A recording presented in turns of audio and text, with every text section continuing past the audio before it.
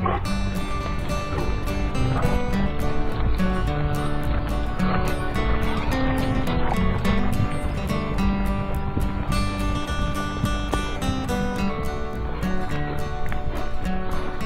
uh, Jonas from uh, Northampton, out in the great Bay State of Massachusetts, has arrived in Wickenburg, Arizona at Rancho de los Caballeros.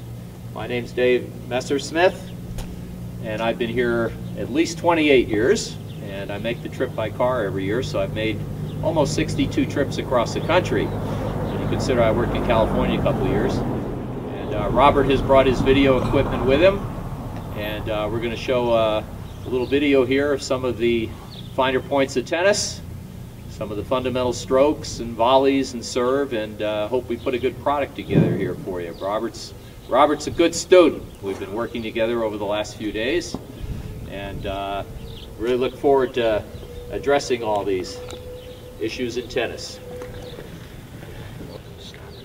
All right, and we're going to discuss first of all the ready position in tennis. I would say when you're coming up, you hit your approach shot or you're at the net, trying to seize the point at the net.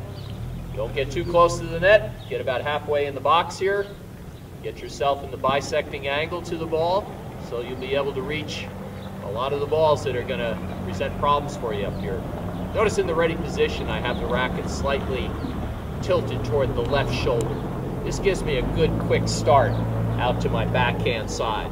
By the way, I'm going to be blocking these balls in the continental grip, putting a little bit of uh, karate chop on the ball, turning the shoulder, stepping out with the foot, punching the ball at the right point, which is about a foot and a half out in front of me. On the forehand side, you should naturally lay, lay, your wrist back on the forehand volley, step into the ball with your left foot. Try to time the racket, the step, and the ball. So you're achieving a good early blocking motion out here. Do not take back swings at the net. You've got to, you've got to stay extremely disciplined up here. Don't let your emotions get ahead of you. Try to, try to follow the ball off your opponent's strings. Get the ball as early as you can as far as sighting the ball, getting off the strings. Move to the spot. Never move laterally at the net. Always try to diagonally move forward. You should always be trying to volley these balls in this manner. So you're punching them deep out toward the baseline. Try to volley toward the baseline. Everybody needs a good deep volley into the corners. When you get a little bit uh, better at this volley, you can start picking off these little short angles, which are touch, I call them touch shots. But they're very difficult to implement at, at uh, pressure moments in the match, the touch shots. Notice the pectoral muscle here come in. My hand never got behind my peripheral vision. Always on the volley, keep the racket head out in front of you where you could see it peripherally. You see the see the shoulder turn here and the racket move out in front of me and then timing my step to the ball. Once you make contact with the ball, you pretty much just give it a little bit of a follow through two or three inches and you're set to go. Get back into the next next possible shot. Remember, just because you made that volley doesn't mean the ball's not coming back. You may have to readjust the angle, move your feet, get back into position. It could take two volleys to win that point. Okay. All right, uh, one of your basic strokes that we cover, first of all, would be the forehand stroke. It's going to be your weapon on the court. Hopefully you're going to be hitting a lot more forehands than backhands.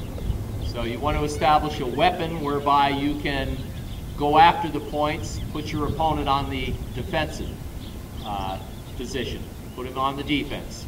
Usually it's the forehand that will take control of the point. It's the bread and butter shot in tennis. I'm going to describe a cross-court forehand here because that's, that's really the bread and butter shot in the game. You can keep the forehand cross-court all day. It forces your opponent to have to take a chance. And eventually they're going to have to hit their forehand down the line, which is the shorter distance, being 78 feet, versus 84 feet on the cross-court. Plus, I've got the lowest part of the net to work with when I hit cross court. So, when you hit your when you hit your forehand, first of all, you want to be uh, a couple of feet behind the baseline here. You're in the ready position, and you really want to be alert. As soon as your opponent's about to address the ball, you do a little bit of a hop like this. You see that quick little hop? This gets you moving quickly, and you can respond to that ball coming off uh, his or her strings quickly. So always assume you're going to have to do a fair amount of sprinting or running on that shot, so you're prepared.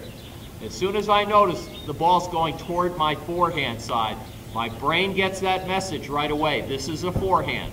This is the first thing your brain has to has to capture. Is it a forehand or a backhand? Make the decisions quickly in tennis. It's going to get you to the ball quicker. You'll have more time to set up. Notice the racket immediately start to move back as the shoulders turn. I've noticed the forehand. Notice the weight has shifted to the right foot. I have not moved my right foot or my left foot, yet the shoulders and racket are already positioned to hit a tennis ball. If need be, I could actually hit a ball right here. As I take this back and the shoulders turn, now I'm ready to push off my right foot here and start stepping across. That's the first explosive step in tennis. Notice the left hand stayed out to the side here in front of me for balance. Racket head is fairly high. I'm going to attempt to get a little bit of uh, extra back swing on my forehand so I can generate more racket head speed. Here comes the shot. I'm going to race over to the ball, little steps, set up, and apply a nice, hopefully well-balanced forehand. We'll do it without the ball now. Here's the ready position. Robert has just hit a nice cross-court forehand. I begin my shoulder turn, begin moving, keeping my head very still, plant my right foot. This is where I've decided to make my stand. The ball's coming in.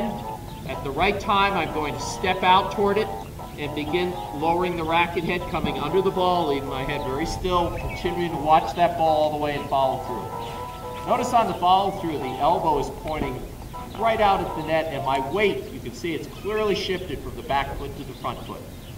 Always attempt to hit all these shots in tennis with your weight.